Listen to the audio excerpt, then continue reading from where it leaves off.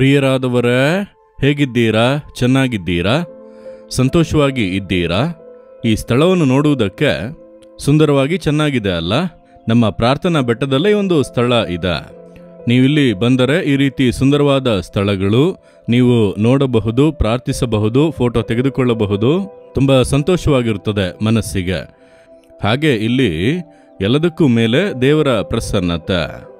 ಇಲ್ಲಿಗೆ ಬಂದರೆ ನಿಮಗೆ ಪ್ರಾರ್ಥಿಸಬೇಕು ಅನಿಸುತ್ತಾ ಇರುತ್ತದೆ. ಆ ಒಂದು ಪ್ರೇರೇಪಣೆ ಬರುತ್ತಲೇ ಇರುತ್ತದೆ. ಯಾಕಂದರೆ ಇದು ದೇವರು ಆರಿಸಿಕೊಂಡಂಥ ಸ್ಥಳ ಅಲ್ಲವಾ? ಸರಿ, ಇಂದು ದೇವರು ಯಾವ ವಾಕ್ಯವನ್ನು ಹೇಳುತ್ತಾರೆ ಅಂದರೆ, ನಹುಮ ಒಂದನೇ ಅಧ್ಯಾಯ ಏಳನೇ ವಾಕ್ಯ.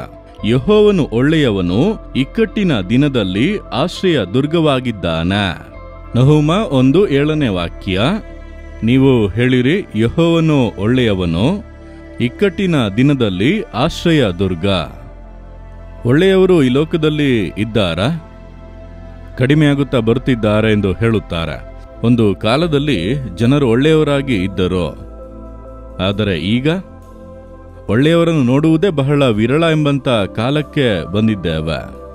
ಆದರೆ ಯಹೋವನು ಒಳ್ಳೆಯವನು, ಎಲ್ಲ ಕಾಲದಲ್ಲೂ ಆತನು ಒಳ್ಳೆಯವನ. ನಮಗೆ ಎಲ್ಲ ವಿಧಗಳಲ್ಲೂ ಆತನು ಒಳ್ಳೆಯವನ. ಮತ್ತೆ ನೀವು ಹೇಳಬೇಕು ಯಹೋ ನನಗೆ ಒಳ್ಳೆಯವನು. ಹಾಗೆಂದು ಯಾವಾಗಲೂ ಹೇಳಬೇಕು, ಒಳ್ಳೆಯ ದೇವರಿಗೆ ಸ್ತೋತ್ರ. ನನಗೆ ಕರ್ತನು ಒಳ್ಳೆಯವನಾಗಿರುವುದಕ್ಕಾಗಿ ಸ್ತೋತ್ರ.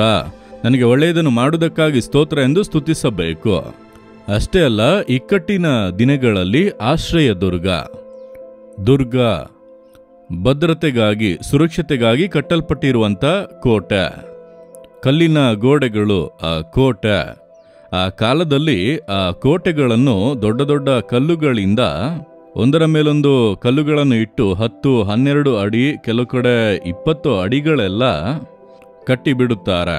ಎರುಸಲೇಮಿನ ಆ ಪೌಳಿ ಗೋಡೆ ನೋಡಿದ್ದೀರಲ್ಲ, ನಾನದು ನಿಮಗೆ ತೋರಿಸಿದ್ದೇನಲ್ಲ, ಎಷ್ಟು ಎತ್ತರ, ಸುಮಾರು ನೂರು ಅಡಿ ಎತ್ತರ ಎಲ್ಲ ಇದೆ. ದೊಡ್ಡ ದೊಡ್ಡ ಬಂಡೆಗಳನ್ನು ತೆಗೆದು ಅಲ್ಲಿ ಇಟ್ಟಿದ್ದಾರೆ. ಯಾಕೆ ಈ ರೀತಿಯಾಗಿ ಕೋಟೆಯ ಗೋಡೆ ಎಂಬುದಾಗಿ ಹೇಳಿದರೆ, ಇಕ್ಕಟ್ಟಿನ ದಿನದಲ್ಲಿ ಕಾಪಾಡಲ್ಪಡುವುದಕ್ಕೆ. ದೇವರು ನಮಗೆ ಹಾಗೆ ಇದ್ದಾರಂತೆ. ನಮಗೆ ಒಂದು ಆಪತ್ತು ಬರುವಾಗ, ಒಂದು ಇಕ್ಕಟ್ಟು ಬರುವಾಗ, ನಮಗೆ ಕೇಡು ಮಾಡಲು ಆಕ್ರಮಿಸಲು ಶತ್ರು ಪ್ರಯತ್ನಿಸುವಾಗ ಕೋಟೆಯೊಳಗೆ ಬಂದರೆ ಒಂದು ಸುರಕ್ಷತೆ. ಇಂತಹ ಕೋಟೆಗಳು ಎಲ್ಲ ದೇಶಗಳಲ್ಲೂ ಇವೆ, ನಾನು ನೋಡಿದ್ದೇನೆ.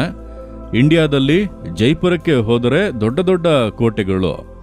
ಅದರ ಸುತ್ತಲೂ ಆ ದೊಡ್ಡ ಗೋಡೆ, ಕೋಟೆ ಇರುತ್ತದೆ. ಅದರ ಒಳಗೆ ಬಹಳ ಸುರಕ್ಷಿತವಾಗಿ ಅನೇಕ ಬಾಗಿಲೆಲ್ಲ ಇಟ್ಟಿರುತ್ತಾರೆ. ಒಬ್ಬರಿಂದ ತೆರೆಯುವುದಕ್ಕೆ ಆಗುವುದಿಲ್ಲ. ಅನೇಕರು ಸೇರಿ ತೆರೆಯಬೇಕು. ಅಂದರೆ ಶತ್ರು ಬಂದು ಆಕ್ರಮಿಸುವಾಗ ಅದರೊಳಗೆ ಹೋಗಿ ಬಾಗಿಲನ್ನು ಮುಚ್ಚಿದರೆ ಸುರಕ್ಷತೆ. ಈಗ ಒಬ್ಬ ಶತ್ರು ಬಂದು ಸೈನ್ಯದೊಟ್ಟಿಗೆ ಆಕ್ರಮಿಸುತ್ತಾನೆ ಅನ್ನುವಾಗ ಜನರೆಲ್ಲ ಹೊರಗೆ ಬಯಲಿನಲ್ಲಿ ಇರುತ್ತಾರಲ್ಲವಾ? ಆಗ ಕಹಳೆ ಊದಿ ಆಪತ್ತು ಬರುತ್ತಿದೆ, ಶತ್ರುಗಳು ಬರುತ್ತಿದ್ದಾರೆ ಅನ್ನುವಾಗ ಎಲ್ಲರೂ ಕೂಡ ಓಡಿ ಬಂದು ಆ ಕೋಟೆ ಇರುವಂಥ ಪಟ್ಟಣದೊಳಗೆ ಬಂದು ಬಿಡುತ್ತಾರೆ. ನಂತರ ಬಾಗಿಲು ಮುಚ್ಚಿದರೆ ಸೇಫ್. ಅದೇ ರೀತಿಯಾಗಿ ದೇವರು ನಮಗೆ ಆಶ್ರಯ ದುರ್ಗ.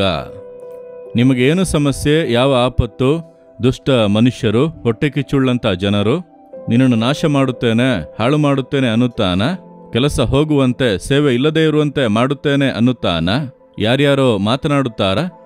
ದೇವರೊಳಗೆ ಬನ್ನಿರಿ. ಆ ಕೋಟೆಯೊಳಗೆ ಬನ್ನಿರಿ, ಆ ದುರ್ಗದೊಳಗೆ ಬನ್ನಿರಿ. ಆತನು ನಮಗೆ ಆಶ್ರಯ ದುರ್ಗ. ಅದನ್ನು ದಾಟಿ ನಿಮ್ಮನ್ನು ಮುಟ್ಟುವುದಕ್ಕೆ ಯಾರಾದರೂ ಬರಲು ಸಾಧ್ಯವಾ? ಒಬ್ಬರು ಬರುವುದಕ್ಕೆ ಸಾಧ್ಯವೇ ಇಲ್ಲ. ಆತನ ಸುರಕ್ಷತೆಯೊಳಗೆ ಬಂದರೆ ಒಬ್ಬರು ನಿಮ್ಮನ್ನು ಮುಟ್ಟುವುದಕ್ಕೂ ಆಗದು, ನಿಮ್ಮ ಹತ್ತಿರ ಬರುವುದಕ್ಕೂ ಆಗದು, ಆತನು ಕೋಟೆಯಾಗಿ ನಿಲ್ಲುವನು? ಆ ರೀತಿ ಇದ್ದು ನಮ್ಮನ್ನು ಕಾಪಾಡುವಂತ ದೇವರು. ಹಾಗೆ ಇರುವಾಗ ಮತ್ತ್ಯಾಕೆ ಭಯಪಡುತ್ತೀರಿ? ಇಲ್ಲ ವ್ಯಕ್ತಿ ದೊಡ್ಡ ರಾಜಕಾರಣಿ, ದೊಡ್ಡ ಪದವಿಯಲ್ಲಿ ಇದ್ದಾನೆ. ಎಲ್ಲವನ ಕೈಯಲ್ಲೇ ಇದೆ. ಏನ್ ಬೇಕಾದ್ರೂ ಮಾಡಬಹುದು. ಏನು ಬೇಕಾದರೂ ಮಾಡಬಲ್ಲನ? ಹಾಗಾದ್ರೆ ನಮ್ಮ ಜೊತೆ ಇರುವಂತ ಏಸು ದೊಡ್ಡವನ ಆ ವ್ಯಕ್ತಿ ದೊಡ್ಡವನ? ಏಸುಗಿಂತ ದೊಡ್ಡ ಅಧಿಕಾರ ಈ ಲೋಕದಲ್ಲಿ ಇದೆಯಾ? ಆತನಿಗಿಂತ ದೊಡ್ಡ ವ್ಯಕ್ತಿ ಯಾರಾದರೂ ಇದ್ದಾರಾ? ಆತನ ಸುರಕ್ಷತೆಯೊಳಗೆ ನೀವು ಇದ್ದೀರಿ. ಎಷ್ಟೇ ದೊಡ್ಡ ಅಧಿಕಾರದಲ್ಲಿ ಇರಲಿ, ಎಷ್ಟೇ ದೊಡ್ಡ ಉನ್ನತ ಸ್ಥಾನದಲ್ಲಿರಲಿ ನಿಮ್ಮನ್ನು ಮುಟ್ಟುವುದಕ್ಕೆ ಆಗದು? ದೇವರು ಆಶ್ರಯ ದುರ್ಗ ಬರುತ್ತೀಯಾ? ಮುಟ್ಟಿ ನೋಡು ಅನ್ನುವರು. ಹತ್ತಿರ ಬರಲು ಆಗದು? ನೋಡಿರಿ, ಕೆಲವು ಕೋಟೆಗಳೊಳಗೆ ಬರುವುದಕ್ಕೆ ಆಗುವುದಿಲ್ಲ. ಒಳಗೆ ಬರುವುದಕ್ಕಾಗದು ಹತ್ತಿರದವರೆಗೂ ಬರುವರು. ಬಾಣವನ್ನು ಎಸೆದರೆ, ಈಟಿಯನ್ನು ಎಸೆದರೆ ಕೋಟೆಯ ಗೋಡೆಗೆ ಬಡಿದು ಬಿದ್ದು ಹೋಗುತ್ತದೆ? ಅವನು ಎಂತಹ ಆಯುಧವನ್ನೇ ಎಸೆದರೂ ಕೋಟೆಯ ಗೋಡೆಗೆ ಅದು ಬಡಿಯುತ್ತದೆ? ಒಳಗಿರುವಂತ ನೀವು ಸುರಕ್ಷಿತವಾಗಿ ಇರುತ್ತೀರಿ. ಯಾವ ಆಕ್ರಮಣ ಬಂದರೂ ಯೇಸುವೆ ಅದನ್ನು ತಡೆದು ನಿಲ್ಲುವನು. ಆತನನ್ನು ದಾಟಿಯೇ ನಿಮ್ಮ ಬಳಿಗೆ ಬರಬಹುದು. ಮತ್ತ್ಯಾಕೆ ಭಯಪಡಬೇಕು? ಧೈರ್ಯವಾಗಿ ಇರಿ. ಸಂತೋಷವಾಗಿ ಇರಿ. ಶತ್ರುವೇ, ದುಷ್ಟ ಮನುಷ್ಯರೇ, ನಮಗೆ ವಿರೋಧವಾಗಿ ಏನು ಬೇಕಾದರೂ ಮಾಡಬಹುದು ಅಂದುಕೊಳ್ಳುತ್ತೀರಾ? ನಾನು ಆಶ್ರಯ ದುರ್ಗದೊಳಗೆ ಇದ್ದೇನೆ. ಏಸು ನನಗೆ ಆಶ್ರಯ ದುರ್ಗವಾಗಿ ಇದ್ದಾನೆ. ಸಂತೋಷವಾಗಿ ಹೇಳಿರಿ. ಈಗ ಹೇಳುವಿರಾ, ಭಯವೆಲ್ಲ ನೀಗುತ್ತದೆ. ದೇವರೇ, ನನಗೆ ಆಶ್ರಯ ದುರ್ಗವಾಗಿ, ಸುರಕ್ಷತೆಯಾಗಿ ನೀವು ಇರುವುದಕ್ಕಾಗಿ ಸ್ತೋತ್ರ. ನೀವು ಒಳ್ಳೆಯವರು. ಯಾವಾಗಲೂ ನನಗೂ ನಮಗೂ ಒಳ್ಳೆಯದನ್ನು ಮಾಡುವ ದೇವರು. ಯಾರು ನಮಗೆ ಕೇಡು ಮಾಡಲು ಆಗದು, ಕೇಡು ಮಾಡಲು ಆಗದು, ಹಾನಿ ಮಾಡುವುದಕ್ಕೆ ಆಗದು, ನಮಗೆ ದುರ್ಗವು ಕೋಟೆಯಾಗಿರುವಂತ ದೇವರಿಗೆ ಸ್ತೋತ್ರ ಸ್ತೋತ್ರ, ಯೇಸುವಿನ ನಾಮದಲ್ಲಿ. ಆಮೇನ್ ಆಮೇನ್.